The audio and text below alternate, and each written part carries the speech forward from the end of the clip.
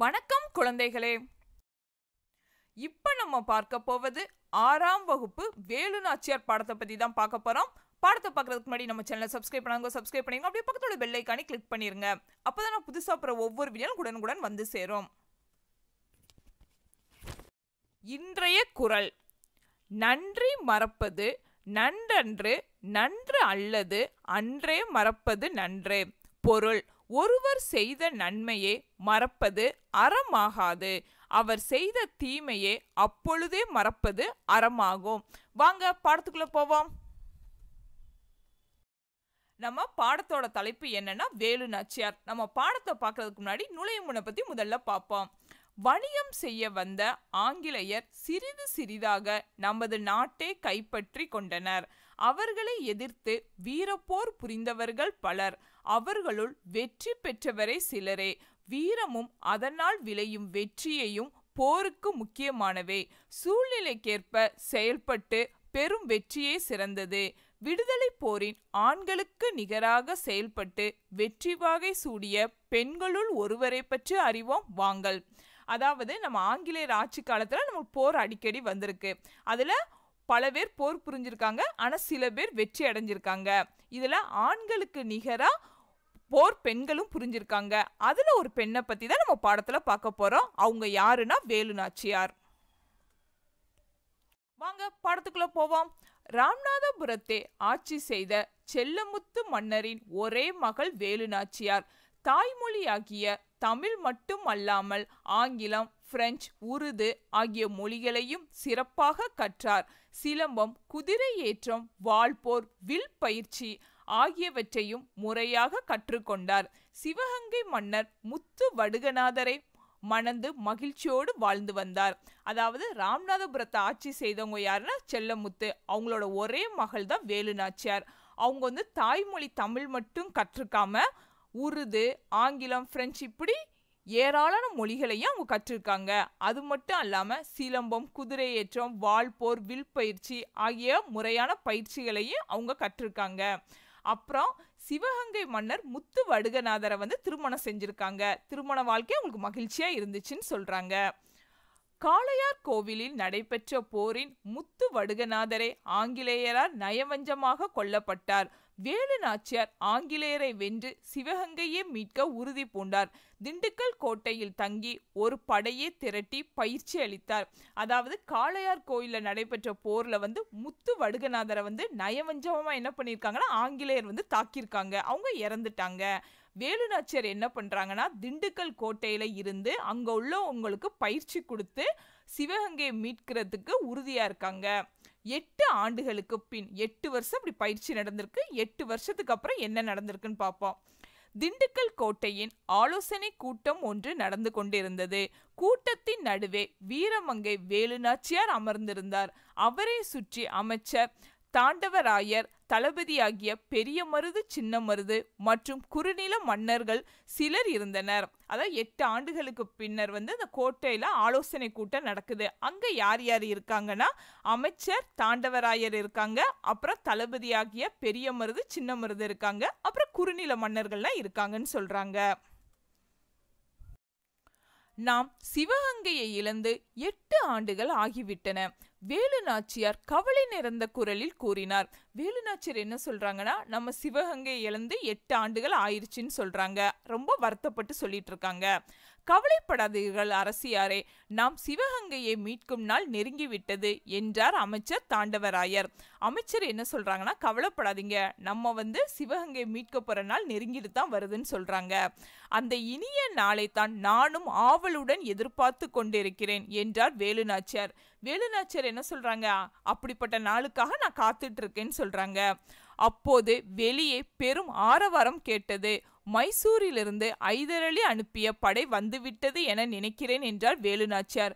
வேலுநாச்சியார் என்ன சொல்றாங்கன்னா ஐதரளிட்ட ஒரு படை கேட்டு அது வந்துருச்சுன்னு நினைக்கிறேன்னு சொல்றாங்க வெளியே உள்ள சத்தத்தை கேட்டு. அப்போது அறையின் வாயிலின் வீரர் ஒருவன் வந்து நின்றான். அரசியாருக்கு வணக்கம். மைசூரிலிருந்து ஐயாயிரம் குதிரைப்படை வீரர்கள் வந்துள்ளனர் என்றான். அப்படியா மகிழ்ச்சி. அவர்களை ஓய்வெடுக்கச் சொல். நான் பிறகு வந்து பார்க்கிறேன் என்றார் வேலுநாச்சியார். வீரன் வெளியேறினான். அதாவது வாயிற்காவரன் வந்து உள்ளக்க வந்து அரசிட்ட சொல்றாங்க. நம்ம மைசூர்ல இருந்து ஐயாயிரம் குதிரைப்படை வந்திருக்குன்னு சொல்றாங்க. வேலுநாச்சர் என்ன பண்றாங்க? ரொம்ப சந்தோஷம். அவங்க எல்லாரையும் ஓய்வெடுக்க சொல்லுங்க. நான் சிறிது நேரம் கழிச்சு வந்து அவங்கள நான் பார்க்குறேன்னு சொல்றாங்க. ஐதர் அலி உறுதியாக படையை அனுப்புவார் என்று எனக்கு முன்பே தெரியும் அரசியாரே என்றார் அமைச்சர் தாண்டவராயர். எதனால் அப்படி சொல்கிறீர்கள்? நாம் இருவரும் ஐதர் அலியை சந்திக்க மைசூர் சென்றோம் அல்லவா? அப்போது தாங்கள் அவரிடம் உருது மொழியில் பேசினீர்கள். அப்போது அவர் முகத்தின் பெரிய மகிழ்ச்சி தோன்றியதை நான் கண்டேன் என்றார் தாண்டவராயர். தாண்டவராயர் என்ன சொல்றாங்கன்னா நம்ம வந்து ஐதர் அலி நம்மளுக்கு எப்படி படையை அனுப்புவாங்கன்னு எனக்கு முன்னாடியே தெரியும்னு சொல்கிறாங்க அதுக்கு வேலுநாச்சியார் கேட்குறாங்க எப்படி உங்களுக்கு தெரியும்னு சொல்கிறாங்க நம்ம ரெண்டு பேரும் ஐதர் அலியை சந்திக்க போகும்போது நீங்கள் உருதுல பேசுனீங்க. அப்போ அவங்க முகத்தில் ரொம்ப சந்தோஷமாக இருந்துச்சு. அதனால அவங்க அனுப்புவாங்க நான் கண்டுபிடிச்சிட்டேன்னு சொல்கிறாங்க தாண்டவராயர். நம் அரசியாரின் பன்மொழி அறிவு நமக்கு பெரிய நன்மையை தந்திருக்கிறது என்றால் சின்னமருது. சின்னமருது என்ன சொல்றாங்க? நம்ம அரசியார் வந்து பல மொழிகளை கத்து வச்சிருக்கிறது நமக்கு ரொம்ப நன்மையா இருக்குன்னு சொல்றாங்க. ஆம் நமது வீரர்களுடன் ஐதர் அலியின் ஐயாயிரம் குதிரைப்படை வீரர்களும் சேர்ந்து விட்டனர் ஆகவே நாளை சிவகங்கையை மீட்க புறப்படலாம் அல்லவா என்று கேட்டார் பெரிய மருது என் கணவர் கொல்லப்பட்ட ஊர் காளையார் கோவில். எனவே நாம் முதலின் காளையார் கோவிலை கைப்பற்றுவோம். பிறகு சிவகங்கையை மீட்போம் என்றார் வேலுநாச்சியார். அனைவரும் அதனை ஏற்றுக்கொண்டனர். மறுநாள் காளையர் கோயிலை நோக்கி வேலுநாச்சியார் படை புறப்பட்டது. ஆண்கள் படைப்பிரிவுக்கு மருது சகோதரர்களும் பெண்கள் படைப்பிரிவுக்கு குயிலியும் தலைமையேற்றனர்.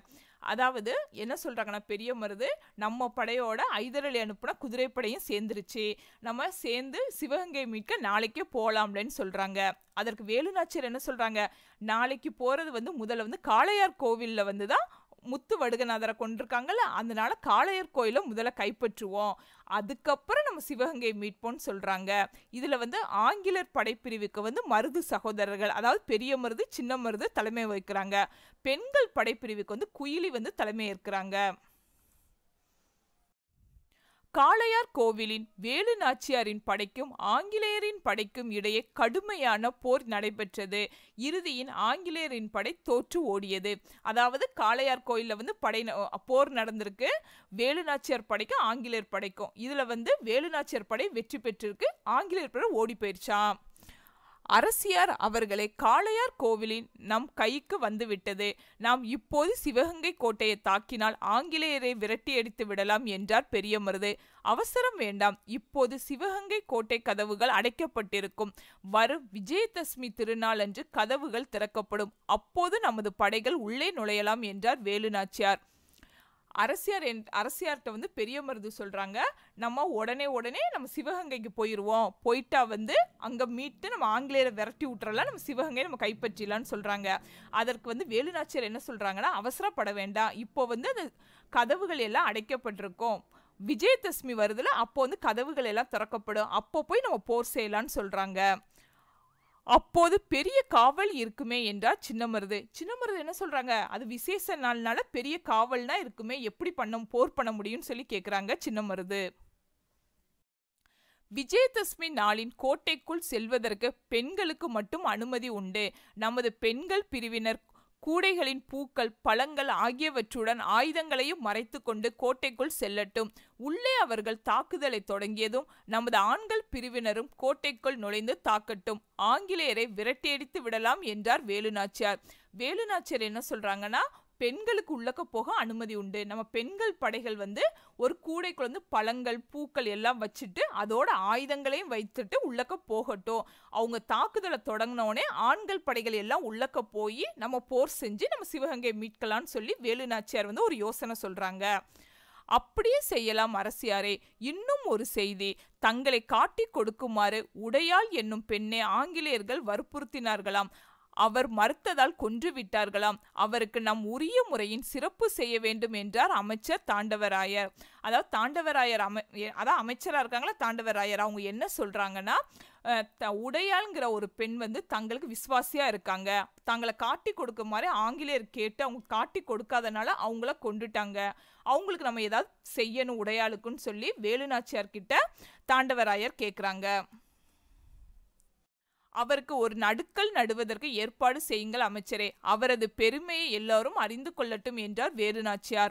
அப்படியே செய்வோம் என்றார் அமைச்சர். விஜயதசமிக்கு முதல் நாள் சிவகங்கையை நோக்கி புறப்பட்டது படை. வழியில் உடையாளுக்கு நட- நடப்பட்ட நடுக்கல் முன்பு குதிரையின் இருந்து இறங்கினார் வேலு நாச்சியார் தாம் வைத்திருந்த தாலியை எடுத்து அந்த நடுக்கலுக்கு காணிக்கையாக செலுத்தி வணங்கினார். அருகில் நின்ற வீரர்கள் உடையாளின் புகழ் ஓங்குக என்று முழக்கமிட்டனர். படை மறுநாள் காலை சிவகங்கையை அடைந்தது. அதாவது சிவகங்கைக்கு போடுறதுக்கு முன்னாடி உடையாளோட நடுக்கல் நட்டிருக்காங்களா? அதில் போய் அவங்க தாலியை வச்சுட்டு வேண்டி வனதை கூ- வ- வணங்கிட்டு கிளம்புறாங்க. அங்கே உள்ள எல்லாரையும் வீரர்கள் என்ன சொல்கிறாங்கன்னா உடையாள் புகழ் ஓங்குகன்னு சொல்லி எல்லாம் முழக்கம் விடுறாங்க.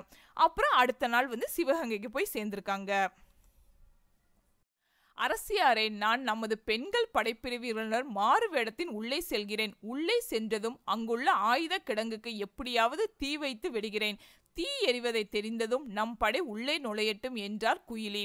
அதாவது குயிலி என்ன சொல்றாங்கன்னா நான் பெண்கள் படைப்பிரிவினரோட மாறு வேடத்தில் உள்ளக்க போயிடுறேன். அங்க வந்து அவங்க ஆயுத கிடங்கு வச்சிருக்காங்களா அதுல நான் தீய வச்சிடுறேன்.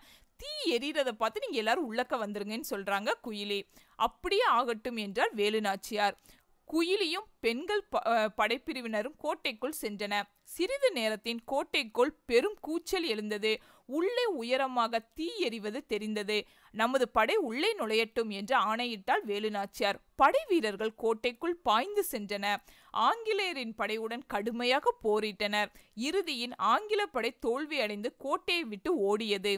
அதாவது ஒரு தீ எரியுது. அதை பார்த்தோன்னே வேலுநாச்சியார் என்ன பண்றாங்க? எல்லாரும் உள்ளக்க போங்கன்னு சொல்றாங்க. உள்ளக்க போய் போர் பயங்கரமா நடக்குதான். அதுல வந்து வேலுநாச்சியார் படை வெற்றி பெற்றுச்சா? ஆங்கிலேயர்கள் வந்து சிவகங்கையை விட்டு வெளியே போயிட்டாங்களாம். வெற்றி வெற்றி என்று முழக்கமிட்டனர் வீரர்கள். இந்த வெற்றிக்கு காரணமான குயிலி எங்கே என்று கேட்டால் வேலுநாச்சியார். எல்லாரும் வெற்றி பெற்றது சந்தோஷமா இருக்கும்போது வேலுநாச்சியார் கேக்குறாங்க குயிலி எங்கன்னு சொல்லி கேக்குறாங்க. குயிலி நமது உடலின் தீ வைத்து கொண்டு ஆயுத கிடங்குக்குள் குதித்து விட்டார் என்று வீரர்கள் கூறினார்கள். அவங்க என்ன பண்ணிட்டாங்கன்னா குயிலி வந்து தனக்கே தீ வச்சுட்டு ஆயுத கடங்களை குதிச்சுட்டாங்கன்னு சொல்றாங்க. குயிலி தம் உயிரை தந்து தம் நாட்டை மீட்டு கொடுக்கிறார். அவரது துணிவுக்கும் தியாகத்திற்கும் வீரத்திற்கும் தலை வணங்குகிறேன் என்று உணர்ச்சி பெருக்கோடு கூறினார் வேலுநாச்சியார். அதாவது குயிலி இறந்ததை கேட்டோன்னே வேலுநாச்சியார் என்ன சொல்றாங்க? அவங்களோட துணிவு தியாகம் வீரம் எல்லாத்துக்குமே நம்ம தலை வணங்கணும்னு சொல்றாங்க. அப்படி உணர்ச்சி பெருக்கோட பேசுறாங்களாம் வேலுநாச்சியார். வேலுநாச்சியாரின் வீரம் மருது சகோதரர்களின் ஆற்றல் ஐதர் அலியின் உதவி ஆகியவற்றோடு குயிலியின் தியாகமும் இணைந்ததால் சிவகங்கை மீட்கப்பட்டது. எல்லாருக்கும் இந்த காணொளி மிகவும் பயனுள்ளதாக இருக்கும்னு நினைக்கிறேன். ஏன்னா வேலு நாச்சியாரோட வீரமும் இந்த இடத்துல தைரியமும் நம்மளுக்கு தெரியுது. அடுத்த காணொளியில் வேறொரு படத்தை பற்றி பார்ப்போம். இன்றைய கவிதை. சிரிப்பு இல்லாத வாழ்க்கை சிறகு இல்லாத பறவைக்கு சமம். பறவைக்கு அழகு சிறகு நமக்கு அழகு சிரிப்பு. நன்றி. இந்த காணொலி பிடிச்சதால லைக் பண்ணுங்க. உங்க கருத்துக்களை கமெண்ட் செக்ஷன்ல பதிவு செய்யுங்க. அப்படியே நம்ம சேனலை சப்ஸ்கிரைப் பண்ணுங்க சப்ஸ்கிரைப் பண்ணி பக்கத்துல பெல் ஐக்கானே கிளிக் பண்ணிருங்க.